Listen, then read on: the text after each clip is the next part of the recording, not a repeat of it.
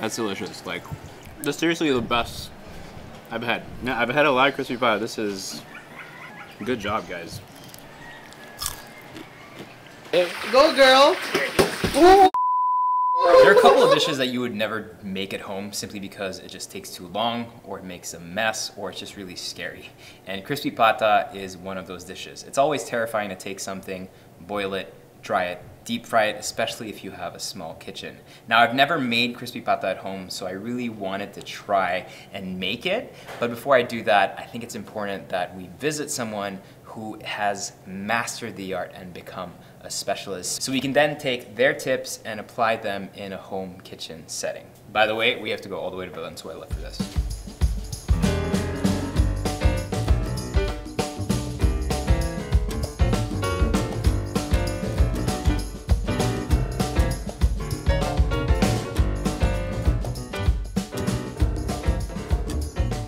I've never been to Valenzuela before. It's kind of lost, um, but I think we finally found it right here. KK Crispy Pata House. They only do it for delivery and order. They deliver all over um, Metro Manila. So let's check it out.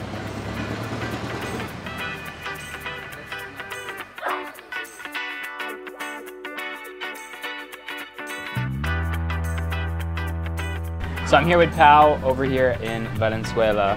We saw one of your, I think it was a video where you had this ridiculous thing where it was like a plastic spoon. You were kind of like going through a piece of pork, um, and it looked absolutely amazing. Yes. And we read the reviews, and I was like, you know what? I actually don't know where to get good crispy pata, so I thought it'd be really cool to come visit you here. Um, so can you explain to me what kind of makes your crispy pata special? So I think you have to have your ano eh, yung yung passion sa Oo. cooking. So so you focus on one thing, wag yung iba-iba. We also do the traditional traditional way of cooking. Clean it, tapos i-burn namin yung mga excess hairs, yan, babalot namin sa katsa. Okay, so what's the kacha for? That, that I find super interesting. Kasi once you boil it ng super tagal, uh, may risk para masira siya eh. Ma-preserve niya pa rin yung mismong pwesto, I mean yung Ah. hindi siya mapuputol, And kasi you're- nga sobrang lambot. You're boiling it for how long? For around 4 to 5 hours. After five hours, what do you guys do? Hanguin na siya, dali na siya sa gripo, wash ng konti para mawala yung sebo-sebo. Okay. Yeah. Kasi yung sebo, naiiwan siya sa mismong ulo eh. You open it, then dry it using the uh, crop paper, And how long do you let it to kind of dry? like 1 hour. So, because we're, we're gonna make crispy pata in a home kitchen, which is very different. Oo. Because very risky, you always have the, the risk of Mm, especially yung- small pots. process ng Yeah, yeah, yeah. So I think that's why, I mean, one of the reasons why you can go straight from boiling to one hour drying straight to cook deep frying is because you have the space. Yes. Yeah. And how long have you been making the same recipe? How many years? It's almost, ano na, 11 to 12 years. Wow. Okay. Awesome. I'm excited to try it. True test of a pata. This skin looks absolutely insane. Come closer, take a look. So soft. I'm literally scooping it out.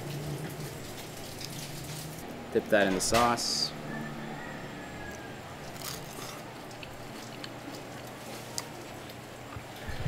That's delicious. Like, I mean, I was expecting it to be good, but that's that's next level.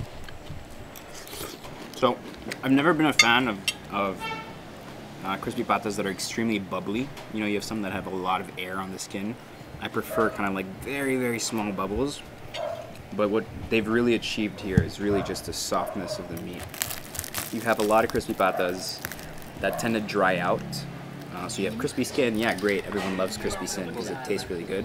But at the end of the day, there's more meat than there is skin. So the meat being tender is, for me personally, more important. So you really get that contrast of perfect skin and then juicy meat, just like you have here. Mm. I really don't think that we can achieve this level of perfection at home.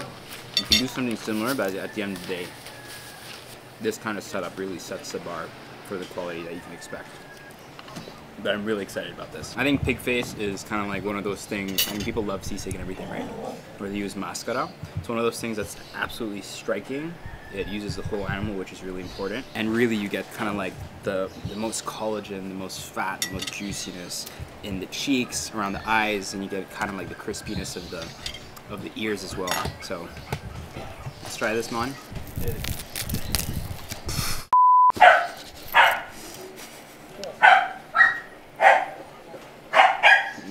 That is intense.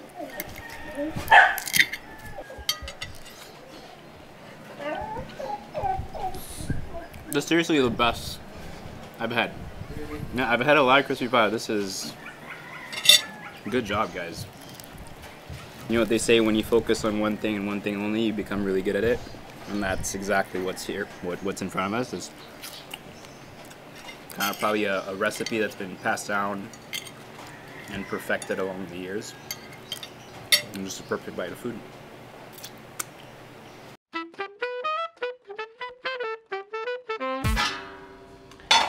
First thing we want to do is season that water. Lots of garlic, red onions. We have some vinegar and some whole peppercorns. A couple of bay leaves, and this is just kind of like that first step to tenderize the pork.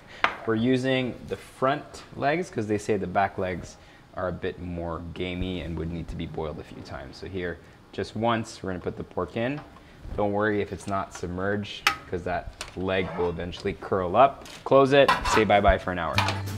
When making achara at home, this is a little gadget that we bought in Shopee or Lazada. And it's been amazing because it cuts these at that perfect thickness that you want your julienne to be without being annoying and having to say julienne. So we're gonna do this for the carrots and for our papaya.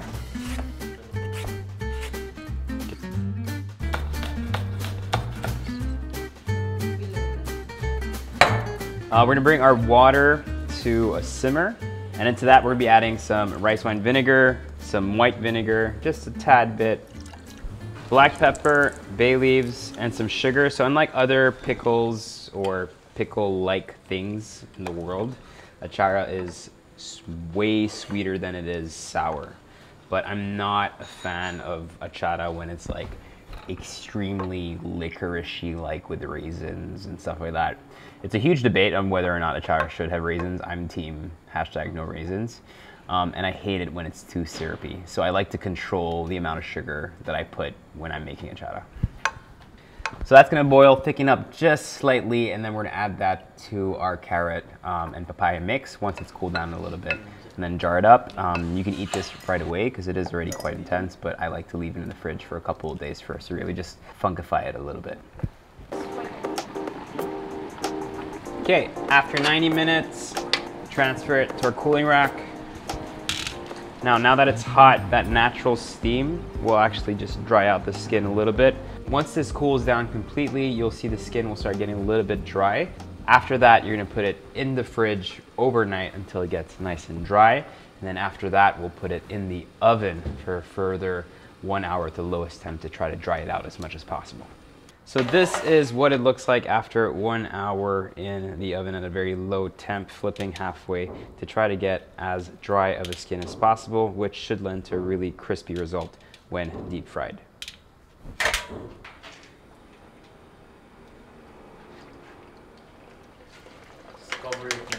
Cover it. Obviously, when you're deep frying at home, you want to be very careful. We're hearing a little bit of pops here and there, which means there's still a little bit of water left in the pork, and so we want to make sure that it's not exploding. So just try to be as safe as possible. Martin says we've got this under control. The bubbles sound like they're getting smaller and smaller, so it sounds a bit better.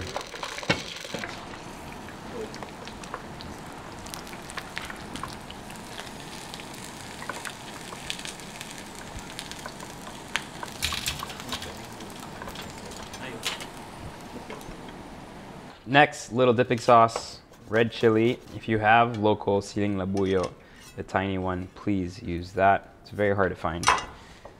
Onions, vinegar, two is to one to soy sauce.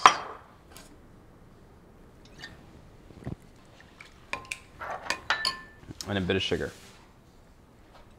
You want that to be briny, kind of aggressive on the vinegar, because that's what you're gonna need to really cut through all that pork fat and richness. Crispy pata, that looks absolutely beautiful. I have some butterhead lettuce. I'm gonna explain to you why. Soy sauce and vinegar dip, and our beautiful achara.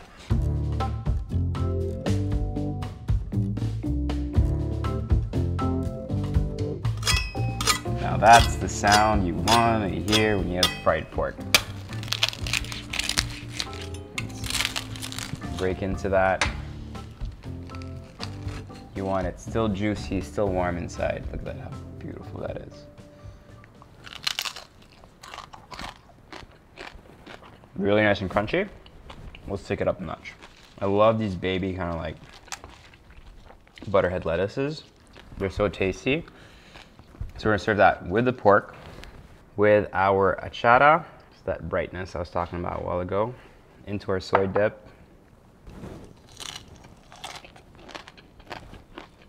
Mmm, very Filipino flavor, just in terms of how you serve it. It uses a format that's really popular in Korea, right?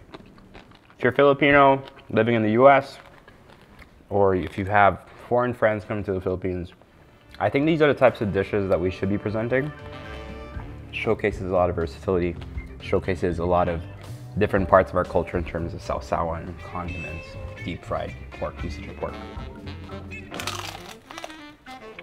Great initiation in Philippine food. This is a raw, I'm kidding. Martin and I had an extra piece of pata, so we decided to leave it during the weekend Yes, two days. two days in the fridge to really, really dry up the skin to see if we can crisp this up even further. Not that you have to. I feel like what we did was quite nice. And if you look at crispy pata made in different restaurants, it's just crispy. It doesn't have to be like Bubbly and stuff. bubbly, right? No hate for people that makes their bubblies, but um, but yeah, it doesn't have to be like that crazy popped chicharron skin for crispy pata. So, but we're gonna try this, um, and if it's good, then we'll recommend this as the way to go. Ooh, you should touch it. Wallet. Can I touch your skin? It's the same. See? Yeah. May the gods of evil.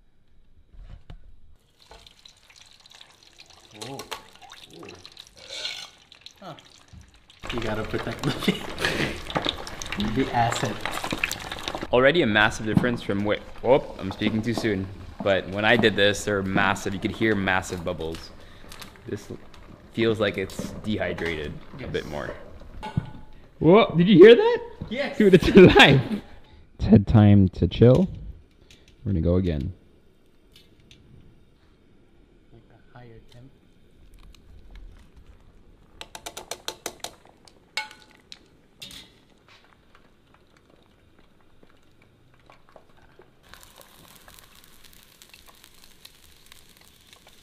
Heavy.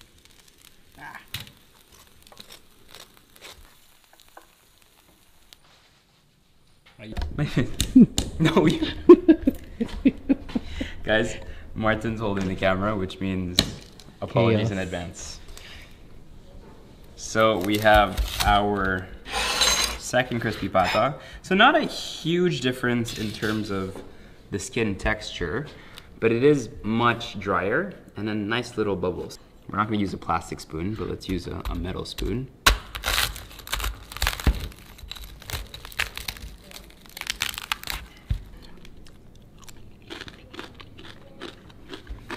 Good, but not enough of a difference for me for that three extra days in the fridge. The previous one, which was kind of like a very simple, easy way of making a really tasty home crispy pata, is good enough for me.